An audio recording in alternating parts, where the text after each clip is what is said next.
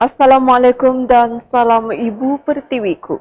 Buletin Ukas edisi petang 5 Disember 2019, anda bersama saya, Nurul Atika Hasan. Penjawat awam tidak perlu berasa takut sekiranya tidak melakukan kesalahan berkaitan integriti dan penyalahgunaan kuasa semasa menjalankan tugas.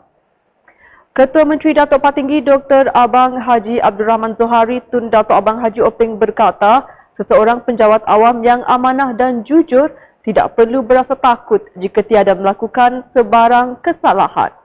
Hidup sentiasa si tenang kerana takut SPR yang datang. Jadi inilah caranya. Tapi kalau kita bebas hidup kita, jadi kita dalam keadaan yang baik. Tuhan membalas bakti kita macam-macam cara setidak-tidaknya satu-satunya lah kesihatan. Beliau berkata demikian dalam majlis penutupan program Pegawai Integriti Bertauliah 2019 di Bintulu pada Khamis. Sehingga kini seramai 94 orang pegawai integriti telah dilatih dan akan ditempatkan di kementerian, jabatan dan agensi kerajaan Sarawak bagi memantau prosedur perundangan dan prosedur operasi standard yang ditetapkan. Datuk Patinggi Abang Jo menambah penubuhan unit integriti dan ombudsman yang diletakkan di bawah Jabatan Ketua Menteri bertujuan untuk memberikan kesedaran betapa pentingnya sifat integriti yang perlu ada dalam setiap masyarakat.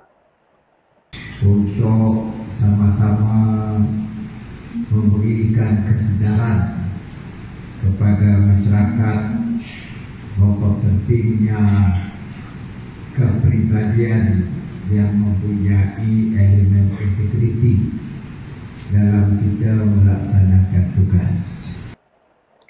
Sementara itu, Menteri di Pejabat Ketua Menteri Integriti dan Ombudsman Datuk Talib Zulfili berkata beliau memberi jaminan bahawa setiap laporan dan dakwaan yang diterimanya akan disiasat dalam tempoh 24 jam.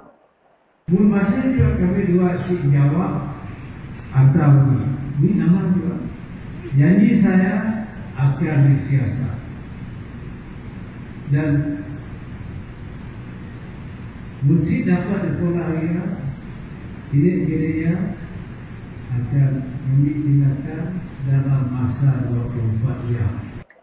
Timbalan Ketua Menteri Dato' Amar Awang Tengah Ali Hassan mengetuai misi pelaburan ke Shanghai, China baru-baru ini. Beliau yang mengetuai Kementerian Perdagangan Antarabangsa dan Industri, Terminal Perindustrian dan Pembangunan Usahawan Mintrade Sarawak telah mengadakan perbincangan dengan beberapa syarikat yang telah menyatakan minat untuk melabur di negeri ini.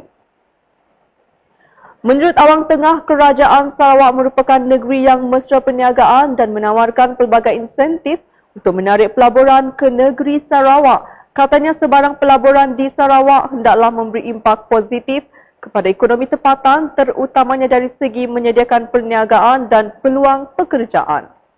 Tambah beliau, kerajaan Sarawak memberi keutamaan kepada pelaburan yang menggunakan teknologi tinggi, mencipta tenaga kerja mahir menerusi pemindahan teknologi dan industri yang menggalakkan pembangunan persekitaran yang mampan sejajar dengan agenda perindustrian Sarawak.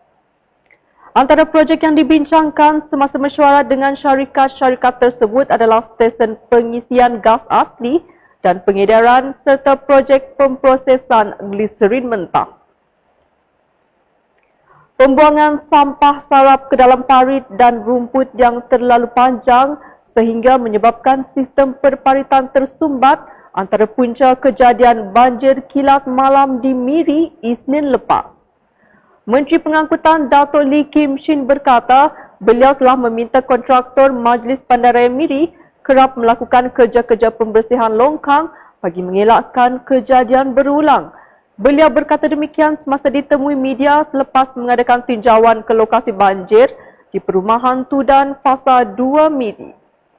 Ahli Dewan Undangan Negeri Senadin itu juga meminta jabatan dan agensi kerajaan Sarawak di Miri menubuhkan sebuah jawatan kuasa kecil bagi menangani masalah banjir dan meneliti mekanisme bagi menaik taraf sistem perparitan yang lebih sempurna.